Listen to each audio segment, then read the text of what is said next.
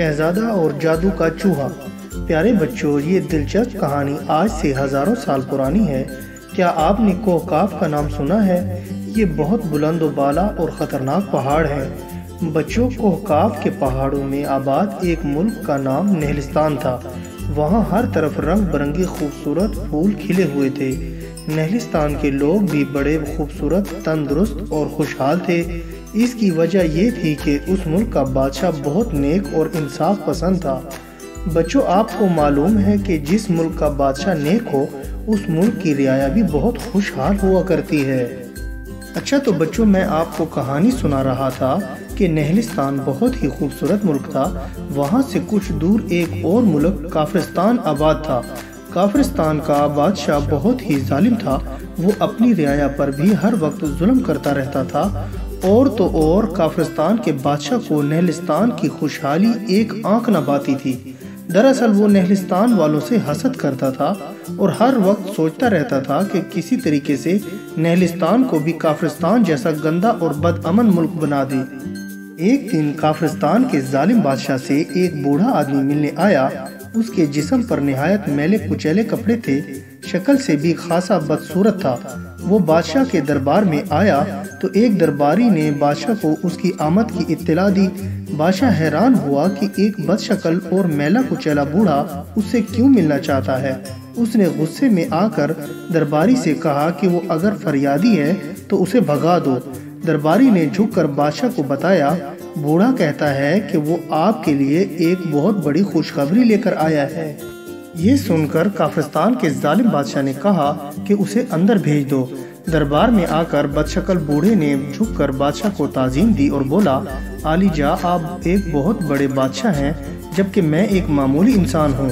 छोटा मुँह, बड़ी बात, लेकिन मैं आपके बहुत काम आ सकता हूँ। बूढ़े की बात सुनकर बादशाह गरजदार आवाज़ में बोला, तुम कौन हो और मेरे किस काम आ सकते हो? बदशकल बूढ़ा बोला, मेरा नाम काकड़ जादूगर है। मैं कोकाफ के पहाड़ों की एक खुफिया गार में रहता हूँ और हर वक्त जादू करता रहता हूँ। कुछ दिन पहले मैं आपके मुल्क में कुछ चीज़ें खरीदने आया तो एक आदमी से मुझे पता चला कि आप मुल्क नहलिस्तान को सफ़ा हस्ती से मिटा देना चाहते हैं। आली जा, मैं आपके लिए ये काम कर सकता हूँ। आकड़ जादूगर की ये बात सुनकर बादशाह खुशी से बोला अच्छा लेकिन तुम ये काम कैसे कर सकते हो?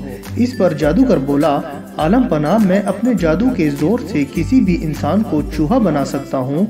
जादू का वो चूहा इतना खतरनाक होगा कि जहाँ से गुजरेगा, उधर वबा की सूरत में खौफनाक बीमारी फैला देगा। और जो कोई इस बीमारी की जद में आएगा, वो पंद्रह दिन के अंदर एड़ियाँ रगड़ रगड़ कर मर जाएगा। अगर आप जादू का चूहा मुल्क नहलिस्तान में भेज दें तो पूरा मुल्क पंद्रह दिन के अंदर ख़त्म हो जाएगा और आप वहाँ हुकूमत कर सकेंगे। काकड़ जादूगर की ये बात सुनकर जालिम बादशाह का चेहरा खुशी से खिल उठा और वो बोला, अगर तुम ये काम कर दो तो मैं तुम्हें मुँह मांगा इनाम दूँगा। इस पर काकड़ जादूगर ने कहा, जनाबे वाला मुझे ज़्यादा इनाम का लालच नहीं है। मेरी ज़िंदगी अंधेरी गार में रहते रहते गुजर गई है। अगर आप मुझे एक शानदार महल इनाम में दे दें तो नवाजिश होगी। बादशाह ने कहा, हम तुम्हें न सिर्फ़ महल, बल्कि एक खूबसूरत बाग भी इनाम में देंगे। बस तुम फ़ौरन जादू का वो चूहा मुल्क नहलिस्तान में भेज दो और वहाँ सबसे पहले चूहे को नहलिस्तान के शाही महल में भेजना, ताकि वहाँ का बादशाह पहले मौत के मुँह में चला जाए। जादूगर वो खुश होकर बोला आलम पना मैं अभी अपना जादू का चूहा नैलिस्तान भेज देता हूँ। लेकिन एक बात आपको बता दूँ कि अगर किसी ने उसे उबलते हुए पानी में फेंक दिया तो वो इंसानी शक्ल में वापस आ जाएगा और उसका सारा जादू ख़त्म हो जाएगा और सब बीमार दोबारा तंदुरुस्त हो जाएँगे। इसलिए बेहतर है अगर आप अपने चंद मुहाफ़ भी इसके साथ रवाना कर दें। काकड़ जादूगर के कहने पर जालिम बादशाह ने अपने चंद मुहाफिज जादूगर के हवाले कर दिए।